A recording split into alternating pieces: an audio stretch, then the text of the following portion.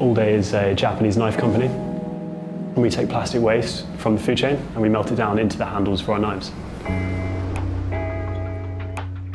Plastic production, it's already at crazy heights, but it's set to treble by 2050.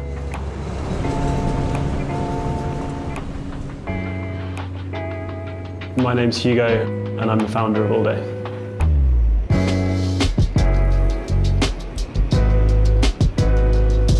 I, so I've been working in London as a chef since I was about 19. I, I, always said like I want to stay close to the kitchens and stay working with chefs. That's my passion and working with food. Um, so the kitchen knife was kind of the development from that.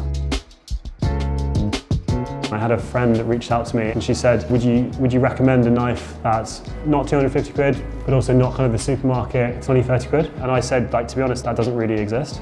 And then I started to look into it and really like researching actually, um, is this possible? Could we do this? I always said if ever we were to start something, it would be to shine light on the plastic issues because it's crazy, like you can't get around the plastic in the kitchens. So when I was looking at materials for the kitchen knife and looking at materials for the handle, it was kind of a no-brainer from that experience that it would be using plastic waste Whilst having a different knife every batch, we also have a different plastic source. So we look to the industry, the food chain, and we say where are areas of it which needs help or we need to shed light and kind of raise awareness. And then we take the plastic from that and we use it in the handle. And through that batch of the three months, we're telling the story of that plastic, you know, how it's sourced, the issues that it has with the environment, um, and then kind of turning that into the handle.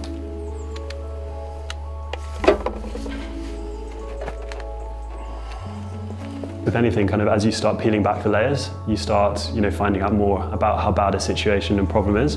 Plastic's already in the food that we eat, it's in the animals, um, it's, it's in 90% of the fish that we eat. Of all the plastic ever produced, only 9% has ever been recycled.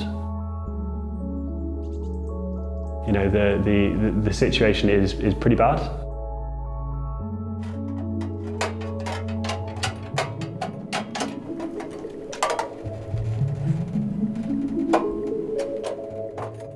I think like cooking is such a fun thing, and it's you know there's so much entertainment in it. But I feel like cooking equipment and cooking and kitchen tools, um, they don't really kind of showcase that within their products.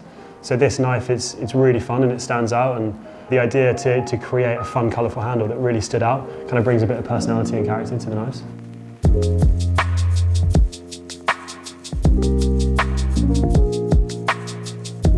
The quality of the blade uh, we wanted to make sure that it was a blade that would last forever. We spent a really long time kind of sampling different knives. We found an amazing one in Osaka. That's a 103-year-old forge, which has been going for forever, and it's, it's just an incredible story.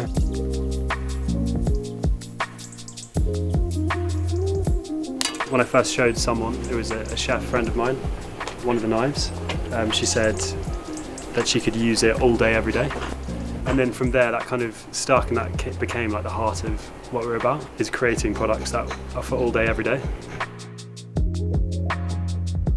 I'd love this knife to be um, like a reminder to the person using it of the issues that we face in the industry. Um, the handle could be made from the, the plastic waste that you've just had at the, at the supermarket that you've just shopped in.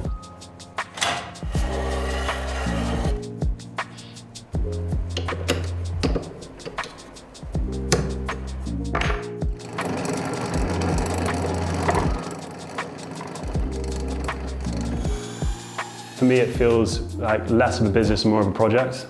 I think for sure I'm going to always be working with recycled plastics. That's like a key part of the business. Um, I'd love to do kitchen tools and kitchen products um, and ranging outside of just knives to other equipment. The, the, kind of the pillar of our business is recycled plastic and raising awareness for that, but where that will take us, we're not really sure at the moment.